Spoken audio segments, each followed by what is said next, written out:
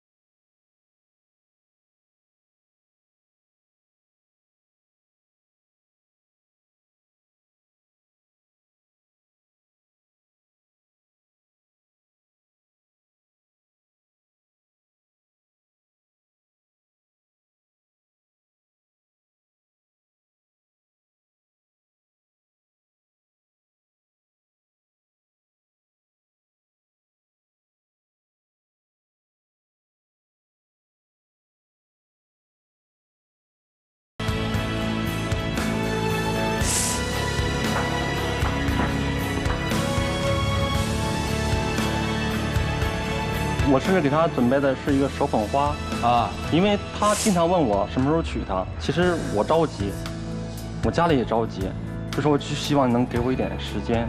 你再看看手捧花，它有一个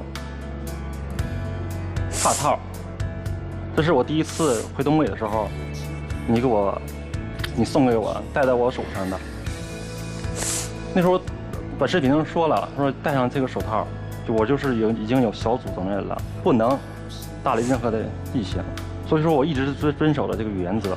我真的很喜欢你，也很想娶你，我也很爱你。姑娘，那个那那什么呀？他给我买了一个那个孙悟空的那个紧箍咒。啊。他说我这两天就跟个猴似的，他就是如来佛。是。给我戴个紧箍咒，就逃不出他手掌心了。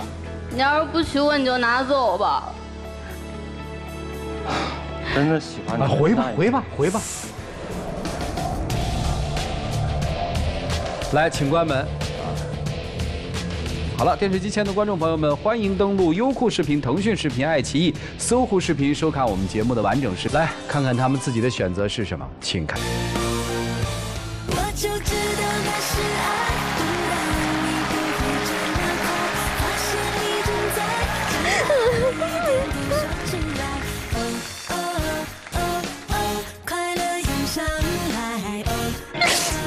这手里是什么呀？我刚才看见的，就是不乱于心，不困于情，不畏将来，不念过往，愿你我此生不悔，白头到老。你写的？是。啊。我不用你娶我了。你看，挺好的，不娶了。来，有请我们的小话筒，有请。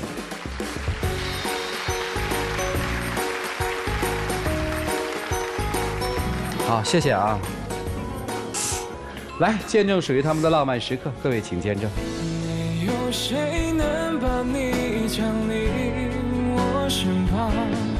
我爱你，你一直问我我什么时候娶你，虽然你不相信我，但是我现在就答复你，回去把舅舅去领证。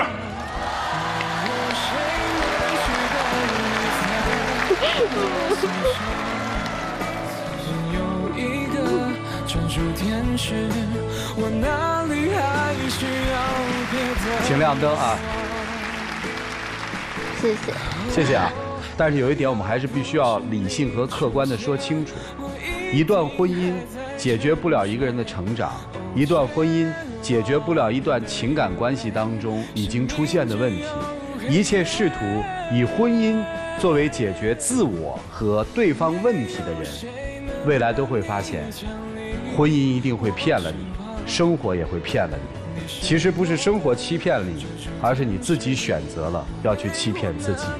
谢谢。结婚的事儿可以考虑一下，再好好谈谈恋爱。如果你们觉得时机合适了，那我们也是祝你们的幸福，好不好？谢谢，谢谢两位哈，请回，请回，请回。